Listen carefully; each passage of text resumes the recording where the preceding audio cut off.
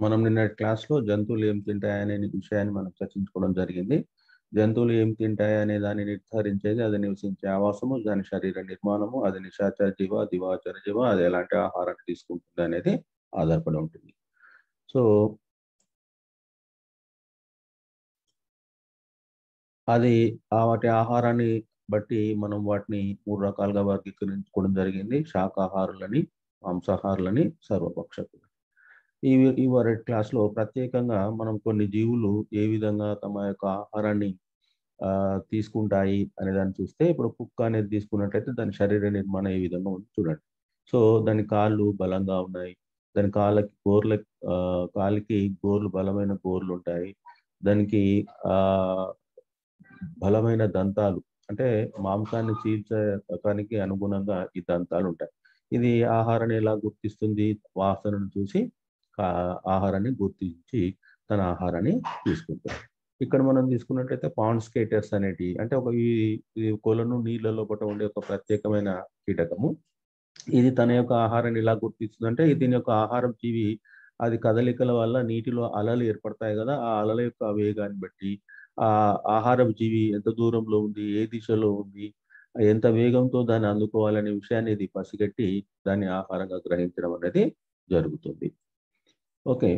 అదేవిధంగా ఇక్కడ మీరు ఆవు కనుక తీసుకున్నట్లయితే ఆవుకి రెండు దవడలు పై దవడ కింది దవడ ఉన్నప్పటికీ కేవలం కింది దవడకు మాత్రమే దంతాలు ఉంటాయి పై దవడ చిగురు మాత్రమే ఉంటుందన్నమాట. ఈ గడ్డిని ఈ దంతాలతోటి చిగురుకు ఆరించి దాన్ని తెంపి ఆ నెమరు దంతాలతోటి నమిలి మింగేస్తుంది అనమాట ఓకే?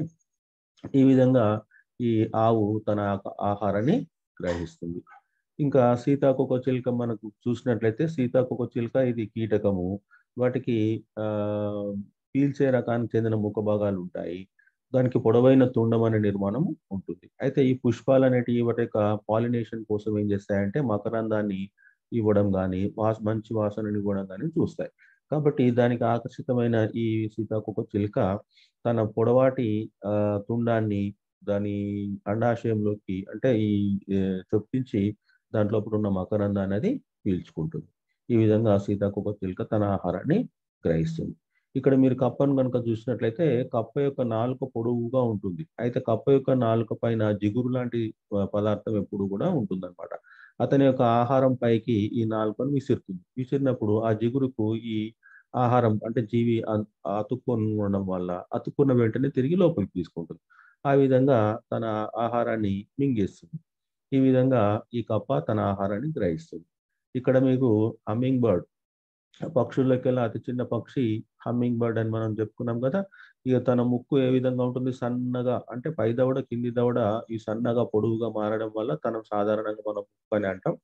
ఇది ఈ పుష్పంలోకి ఈ తన ముక్కును చొప్పించి ఆ మకరందాన్ని పీల్చే విధంగా ఉంటుంది. సో ఈ హమ్మింగ్ బర్డ్ కూడా ఈ మొక్క లోపల పాలినేషన్ కోసం తోడ్పడతాయి. ఇంకా మనం ఉడత నిజ జీవితంలో మనం చూసినట్లయితే తన యొక్క ఆహారాన్ని చేతులతో అంటే కాళ్ళతో పట్టుకుంటుంది. దంతాలతోని కొరికి తింటుంది. ఆహారాన్ని ఈ వాసన చూసి గుర్తించడం జరుగుతుంది. ఇంకా మీరు ఇక్కడ ఈ పులిని కనుక తీసుకున్నట్లయితే ఈ పులికి కాలు ఎంత బలంగా ఉన్నాయో ఇక్కడ చూడండి. అదేవిధంగా తన ఈ దంతాలు కూడా చాలా బలంగా ఉంటాయి అన్నమాట అంటే ఈ తన ఆహారం జీవిని పట్టి చంపి ఆ మాంసాన్ని చీల్చి ఆహారంగా గ్రహించే శక్తి వీటికి ఉంటుంది. ఇది కేవలము మాంసాహార జీవి. ఇక్కడ ఉడతను కనుక తీసుకున్నట్లయితే శాకాహార జీవి కొరుకు దంతాలు బాగా అభివృద్ధి చెంది ఉంటాయి ఇది మాంసాహార జీవి కాబట్టి ఇందులో చీల్చు దంతాలు ఆ కూర దంతాలు అని మనం అంటాం కదా ఈ విధంగా ఆ వాటి ఆ దంతాలు బాగా అభివృద్ధి చెంది ఉంటాయి.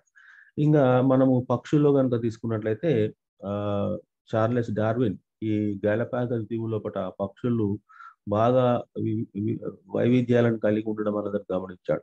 మనము పక్షులు అన్ని రకాల పక్షులు తీసుకుంటే ఇప్పుడు ఇక్కడ ఈ గద్ద అనే పక్షిని తీసుకుంటే ఇది కింది దవడ ఇది పై దవడ. ఈ పై దవడ ఏ విధంగా ఉంది చూడండి. చాలా బలంగా వాడిగా మొనదేలి ఈ విధంగా ఉంది. అంటే ఇతర జీవిని ఇది ఈ వాడి అయిన దాంతో చంపేసి ఆ మాంసాన్ని చీల్చే విధంగా ఇది ఈ విధంగా ఉంటుంది. ఇది ఆకాశంలో పైకి ఎగురుతూ ఉన్నప్పటికీ కూడా దీని యొక్క సూక్ష్మ ఆ చూపు చాలా పటిష్టంగా ఉండడం వల్ల ఆహారం జీవిని అది గుర్తిస్తుంది. ఇంకా ఇతర జీవులను కనుక మనము మన ఇళ్ళలో ఉన్న పిచ్చుకను కనుక చూసినట్టయితే ఇది పొట్టి ముక్కుగా ఉంటుంది. ఎందుకంటే ఇది సాధారణంగా గింజల్ని ఏరుకొని తినడానికి అనుకూలంగా ఉంటుంది. కానీ ఇది కూడా చిన్న చిన్న కీటకాలను చంపడానికి ఈ విధంగా మొనదేలిన ఈ ముక్కు అనేది దీనికి తోడ్పడుతుంది. అదే బాతు ముక్కును కనుక మనం తీసుకున్నట్లయితే ఇది వెడల్పుగా ఉంటుంది. దీని యొక్క ద బాతు ఈ పై దవడ కింది దవడకి దంతాలు అనే నిర్మాణాలు ఉంటాయి.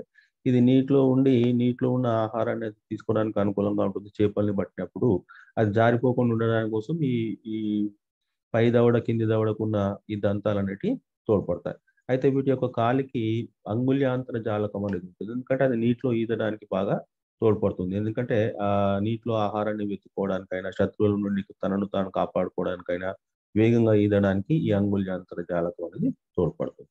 ఇంకా మన ఇళ్ళలో ఉండే కోళ్ళు ఈ కోడి ముక్కు ఎంత వాడిగా పొట్టిగా ఉన్నప్పటికీ వాడిగా ఆ ఉంటుంది.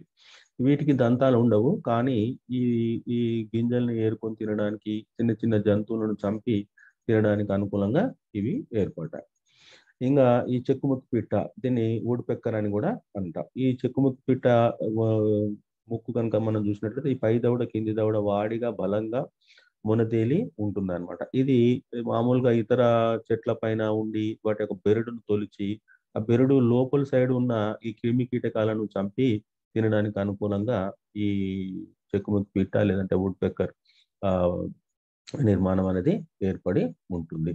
ఇంకా ఇది జలగ. ఇది జలగ ఏం చేస్తుందంటే దీనికి చూషకాలు అనే నిర్మాణాలు ఉంటాయి. ఇక ఇది ముఖ చూషకం అని అంటాం.